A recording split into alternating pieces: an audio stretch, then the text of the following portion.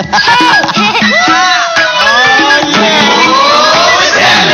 you know a guy who talked to a kangaroo? Who's always ready to learn about something new? Wow. Whose favorite book has all the animals you could wish? Who's proud to say his best friend is a fish? That's right, my man Stanley.